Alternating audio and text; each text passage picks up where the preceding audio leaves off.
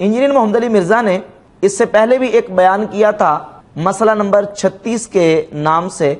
ज़यीफ़ुल असनाद और मन करता हदीस के फितने का तहकीकी जायज़ा और हाल ही में एक बयान किया है सही मुस्लिम के मुकदमा के हवाले से। पुराने बयान में भी और इस बयान में भी इंजीनियर मोहम्मद अली मिर्ज़ा ने कुछ ख़यानतें और कुछ गलत बयानियाँ की हैं।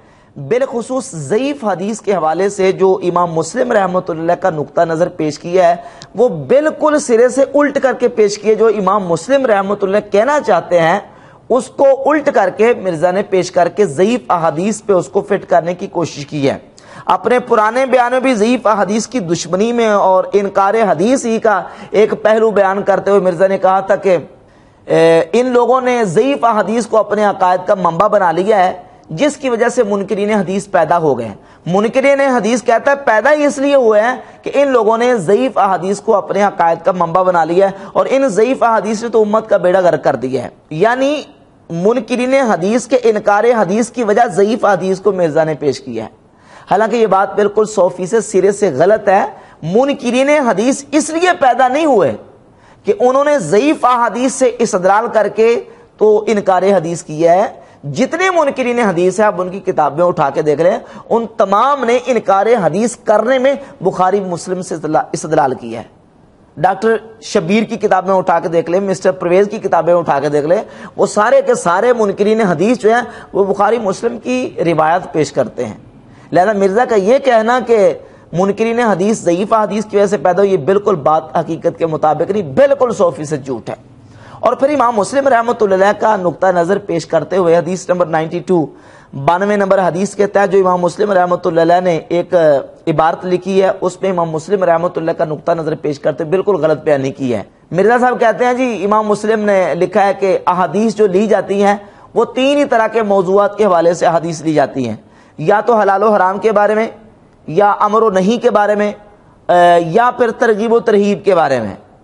तो इन तमाम उनवानात के तहत जो भी हदीस ली जाएगी, सही हदीस ली जाएगी, ज़यीफ़ हदीस जो लोगों के सामने बयान करता है, वो उम्मत के साथ धोखा करता है और ऐसा आलिम जो ज़यीफ़ हदीस बयान करता है, वो आलिम होने के बावजूद जाहिल कहलाने का हकदार है, जो ज़यीफ़ हदीस पेश करता है या ज़यीफ़ हदीस को बयान करता है। हालाँकि वहाँ मुस्लिम रहमत के कहने का हरगिज मतलब ये नहीं है। दो मिनट के लिए मिर्ज़ा के बयान करदा मतलब के मुताबिक अगर मान लिया जाए कि जो आलिम, जो मुहदस हदीस ज़यीफ बयान करता है या ज़यीफ हदीस से इसलाल करता है ज़यीफ हदीस को रिवायत करता है, वो आलिम होने के बावजूद जाहिल कहलाने का हकदार है। तो मुझे बताएँ कि ये फतवा किस किस पे सादिक आता है? कौन बचता है इस फतवे से? इस फतवे से ना इमाम बुखारी बायते हैं, ना खुद इमाम मुस्लिम बायते हैं, ना इमाम अहमद बिन अब्बल बायते हैं, ना इमाम इबन अबी शवा बायते हैं, ना इमाम तिरमजी, ना इमाम अबू दौद ना इमाम निसाई। कोई इमाम भी नहीं बचता। दुनिया में कौन सी ऐसी किताब है जिसमें ज़यीफ हदीस मौजूद ना हो? बुखारी, मुस्लिम से लेकर नीचे तक जितनी किताबें हैं, कोई किताब ऐसी है जिसमें आप दावा कर सके कि जिसमें ज़यीफ हदीस नहीं है। सारी की सारी टोटली कुल अहादीस सही है। दर्जनों अहादीस, कुतुब अहादीस में ज़यीफ़ मौजूद है। सही बुखारी में कई अहादीस ज़यीफ़ है, सही मुस्लिम शरीफ में ज़यीफ़ अहादीस मौजूद है। तो क्या ये जो सारे आयमा मुहदसिन है, ये आलिम कहलाने के बजाय नऊज बिल्ला जाहिल कहलाने का कदार है? तो ये बात ही बिल्कुल सिरे से गलत है। इमाम मुस्लिम रहमत ऐसा हरगेज नहीं कहना चाहते। फिर ये कहता जी, इमाम मुस्लिम के बयान से जितने मुफ्ती आज़म हैं, ये सारे मुफ्ती आज़म जो है इमाम मुस्लिम के फतवे के मुताबिक जाहिल हैं। तो मुफ्ती आज़म पाकिस्तान जो है, उनकी बात तो बाद में करेंगे। पहले हम देखेंगे इमाम मुस्लिम रहमत के दौर में जो मुफ्ती आज़म थे, उनके हवाले से। इमाम मुस्लिम के दौर में कौन सा मुफ्ती आज़म हो सकता है? इमाम बुखारी रहमत इमाम अहमद ब्रह्म रहमत मुहदसिन के यहाँ। अब इनकी किताबों को उठाकर देख ले। क्या इनकी किताबों में जयीफ हदीस मौजूद नहीं है? मैं दर्जनों रिवायात से सिर्फ़ एक रिवायत पेश करता हूँ, इमाम बुखारी राम की किताब, सही बुखारी से।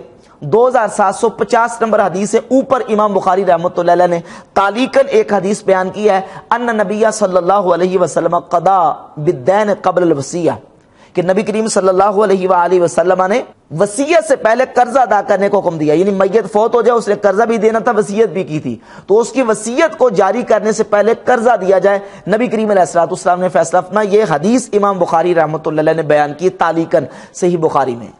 इसकी सनत जाम तिरमजी में मौजूद है। और मुस्त अहमद इबन हम्बल में मौजूद है। और दोनों जगह पे हारिस अल आवर रावी मौजूद है और मुहदसिन के यहाँ हारिस अल आवर ज़यीफ रावी है और ये मुहदसिन के यहाँ हदीस ज़यीफ है। तो अब इस ज़यीफ हदीस को बयान करके इमाम बुखारी रहमत ने इसदलाल भी किया है। तो क्या इमाम बुखारी आलिम कह, कहलाने के बजाय नौज बिल्ला जाहिल कहलाने का कदर? अलियाज ताला। क्योंकि मिर्ज़ा के बयान के मुताबिक इमाम मुस्लिम कहते हैं जो हदीस है जो है ना वो जो आलिम जो मुहदस है आलिम हो के ज़यीफ हदीस बयान करे, वो जाहिल कहलाने का हकदार। तो क्या ये बात इमाम बुखारी के बारे में मिर्ज़ा कह के दिखाएगा? नाउजबिल्ला ताला। ये मतलब ही नहीं इमाम मुस्लिम रहमत के कहने का। फिर इसके अलावा इमाम बुखारी रहमत की कितनी किताब? है मिसाल के तौर पर यह किताब है इमाम बुखारी रहमत की अल अदबुल मुफरत मिर्ज़ा के अपने बयान के मुताबिक इसमें 20 परसेंट रिवायात ज़यीफ हैं। इमाम बुखारी रहमत ने 20 परसेंट अदीस इसमें ज़यीफ बयान की हैं। तो क्या इमाम बुखारी जो है वो फिर इमाम मुस्लिम के मुताबिक नौजबिल्ला ये कहलाने के हकदार होंगे अलियाज़बिल्ला ताला। इमाम बुखारी रहमत की दूसरी कई किताबें जिस तरह बिरुल वालदैन, ये किताब देखे इसमें ज़यीफ़ा हदीस मौजूद है। ये है खलको अफ़ाल इबाद, इसमें भी ज़यीफ़ा हदीस मौजूद है। इसके अलावा इमाम मुस्लिम रहमत की जितनी किताबें उनमें से ये किताब तमीज़ है, इमाम मुस्लिम रहमत की, इसमें ज़यीफ़ा हदीस मौजूद है। और ख़ुद सही मुस्लिम में इमाम मुस्लिम रहमत ने ज़यीफ़ सन्नों के साथ और ज़यीफ़ रावियों से हदीस को बयान किया है। ये इमाम मुस्लिम रहमत पे एतराज़ होता है जिस इतराज का जवाब देते हुए इमाम नबी रहमत ने शरा सही मुस्लिम की पहली जिल्द, सफ़ा नंबर 25 पर इतराज का जवाब दिया है कि इमाम मुस्लिम रहमत पे इतराज होता है कि इन्होंने अपनी सही मुस्लिम में ज़यीफ़ अहदीस को क्यों बयान किया और ज़यीफ़ रावियों से रिवायतें क्यों ली हैं? इमाम इबन सलाह, जो कि बहुत बड़े उसूल हदीस के इमाम हैं, उन्होंने इस इतराज़ का जवाब दिया है। एक तो जवाब यह दिया कि इमाम मुस्लिम ने जो ज़यीफ़ रावियों से अहदीस बयान की हैं तो उसकी वजह यह है कि वो रावी इमाम मुस्लिम रहमत के नज़दीक सिका थे, बाकियों के नज़दीक ज़यीब है, इसलिए इमाम मुस्लिम ने उनको सिका समझ के उनसे रिवायत ली। और दूसरा जवाब यह दिया है कि अयकूना जाले का वाकयान फिल मुताबात व शवाहिदला फिल उसूल। इमाम मुस्लिम रहमत ने इन ज़यीफ रावियों से जो रवायतें बयान की हैं, वो उसूलन बयान नहीं की, बल्कि मुताबात शवाहिद में बयान की है। यानी असलन पहले एक उसूलन एक हदीस ले आते हैं, और उसके बाद फिर उसकी जो तुर्क और उसकी जो सनदें हैं, वो ज़यीफ रावियों से बयान करते हैं। तो उसूलन सही लेके आते हैं, और फिर मुताबियात शवाहिद में ज़यीफ रावियों से रिवायत इमाम मुस्लिम रहमत ले आते हैं। तो अगर ज़यीफ रावियों से रिवायतें बयान करने वाला आलिम कहलाने के बजाय जाहिल कहलाने का हकदार है तो यह फतवा सबसे पहले इमाम मुस्लिम पे आएगा। इमाम बुखारी पे आएगा, इमाम अहमद बिन अम्बर रहमत जिन्होंने सताईस हज़ार के करीब मुस्त अहमद बिन अम्बल में हदीस बयान की, उन पे आएगा, क्योंकि बहुत सारी हदीस उन्होंने जयीफ बयान की है। तो ये इमाम मुस्लिम रहमत के कहने का मतलब हरगज नहीं है। जयीफ हदीस के बारे में महाजयीफ के बारे में वो बात नहीं कर रहे, बल्कि इमाम मुस्लिम रहमत बात कर रहे मौजू मनगढ़ जाली और फेब्रिकेटेड हदीस के बारे में। और ये जो अल्फाज है, वो अल्फाज इस बात का बिल्कुल वाजे पता देते हैं। जैसा मिर्ज़ा कहता है मैं वर्ड टू वर्ड पढ़ के सुनाने लगा हूँ। वर्ड टू वर्ड का नाम लेता है और फिर तर्जमा पढ़ के सुनाना शुरू कर देता है। और पता नहीं उसको चलता कि मैं कौन से लफ्ज जो है वो इमाम मुस्लिम रहमत के बोल रहा हूँ और कौन से अपनी तरफ़ से लफ्ज दरमियान में ऐड करूँ। इमाम मुस्लिम रहमत ने जो सही मुस्लिम के मुकदमा की रिवायत नंबर 92 के तहत जो इबारत लिखी है, वो हरगिज महज जयीफ हदीस के बारे में नहीं है, बल्कि वो मौजू और मनगढ़ और जाली हदीस के बारे में है। मिसाल के तौर पर इमाम मुस्लिम रहमत लिखते हैं कि इदा काना रावी लईसा इदा काना रावी लहा लईसा बे मादिल के वल अमाना। जब रावी सच्चा ना हो, अमानतदार ना हो, यानी झूठा हो, हदीस बयान करने में झूठ बोलता हो, खयानत करता हो सुमकदम अल रिवायत अनहु मन कद आराफा हो वलम युबैन माफ़ी ले गए रही और वो मुहदस और वो रावी जो रिवायत उस उस रिवायत को बयान करे, और ऐसे बंदे के सामने बयान कर दे जो उस रावी को जानता ना हो।